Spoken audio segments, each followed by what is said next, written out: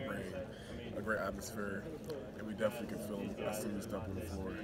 Um, Hilton Magic is definitely something that we look forward to on the Yeah, I think when uh, teams come to play us, I think it's kind of like us against them feel, and it's like I feel like the fans surround them and they feel uh, just the pressure. To me, I think it feels good uh, just knowing that even though nobody, is kind of doubting us, and our fans always got our back no matter what. You know, we already sold season tickets out, it's been a week or so. So, I mean, it feels good to, that they have our back and that they're going to be there no matter what. I, mean, I feel like they're just one of my favorite places to play. I mean, I, their, their atmosphere is, is, is, incredible, and I feel like they.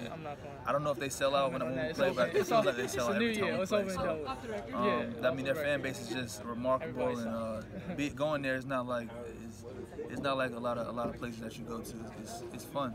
Yeah, I mean it's a crazy place. Uh, it's, they've they've had a lot of really good teams and a lot of success, and so their fans are are behind them 100% and and uh, support them like crazy. And so it's a really fun place to play because of the environment and uh, the the level of competition that you get there. Uh, I mean, it's definitely one of the tougher places to play in the Big 12. Uh, it's pretty loud in there, and it's just uh, we just gotta face the adversity and the environment.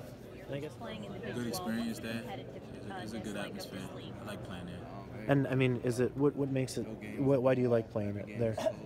It's the fans, man. You know, I think the fans make uh, all the games. So. Fans just make it better for the athletes. I think